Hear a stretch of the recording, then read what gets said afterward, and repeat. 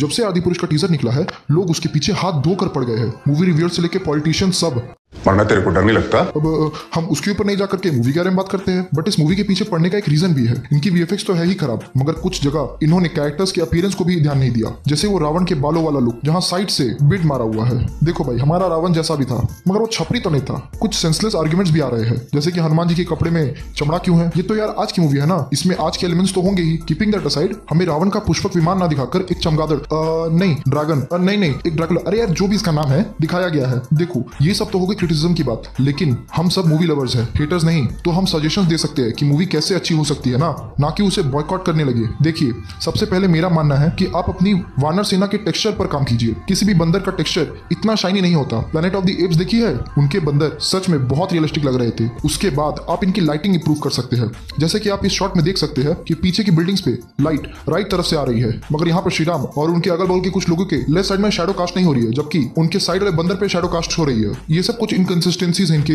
Editing में। फिर ये उड़ने वाला प्राणी का सीन जो भी ये है। अगर गेम ऑफ़ थ्रोन्स देखा होगा आपने तो उसमें जब एमिलिया क्लार्क ड्रैगन पर उड़ती है ना, तब ड्रैगन के विंग फ्लैप होते हैं। और ड्रैगन के विंग के फ्लैप होने की वजह से उसके ऊपर का राइडर भी ऊपर नीचे होता है। मगर यहाँ रावण एक ही जगह पर बैठा हुआ है। उस चमगादड़ के विंग्स फ्लैप करने से इस पर कोई इफ़ेक्ट नहीं आ रहा है। ऐसा कैसे हो सकता है? आदि पुरुष चले या ना चले वीएफएक्स की वजह से लोगों को अपना पुराना सुपर हीरो जीवन याद आ रहा है। वो मूवी भाई सच में अपने समय से बहुत आगे थी। रावण एक ऐसी मूवी है, जो बहुत ज़्यादा डिजर्व करती थी। मगर मगर उसे मिला बहुत कम। उसी समय में लोगों ने इस मूवी को बहुत क्रिटिसाइज किया था और लोग उसे फ्लॉप कहते थे। ऑल इस मूवी का बजट 130 करोड़ का था, मगर इसने कमाई 207 करोड़ की की थी। इसे हम फ्लॉप तो नहीं बोलेंगे, मगर इसे वो रिकॉग्निशन नहीं मिल पाई, जो ये डिजर्व करती थी। हम सब सोचते हैं कि अगर हमारे फेवरेट गेम के कैरेक्टर्स बाहर आ जाए तो क्या होगा? इस मूवी ने इस कॉन्सेप्ट को एक्सप्लोर किया कि अगर सच में गेम के कैरेक्टर्स बाहर आ गए तो क्या क्या हो सकता है? अरे यार, इनके गेम्स वाला कॉन्सेप्ट इतना तगड़ा है कि इस पे एक पूरा का पूरा सिनेमैटिक यूनिवर्स बन जाए, जहाँ जिस तरह रावण गेम से बाहर आया था, उसी तरह बहुत से फ़ेमस गेम के कैरेक्टर्स बाहर आ रहे हो। ये अपने आप में ही बहुत नया है, और इन्होंने उस टाइम पर वीएफएक्स का सही से इस्तेमाल भी किया था। मुझे आज भी वो शॉट याद है, जहाँ रावण क्यूब बाई क्यूब जोड़ रहा था। वो सीन सच में औसम था। उस लेवल की एडिटिंग और वीएफएक्स उस टाइम पे मुझे नहीं लगता कि इंडिया में कोई और कर रहा था। मैं तो कहता हूँ, लोहा गर्म है।